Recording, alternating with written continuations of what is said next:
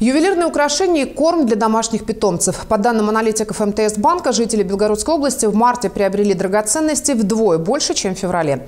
Таким образом, люди пытаются вложить свободные деньги. Кроме того, в ажиотажном топе сухие и влажные корма для животных. Средний чек в зоомагазинах вырос почти в два с половиной раза.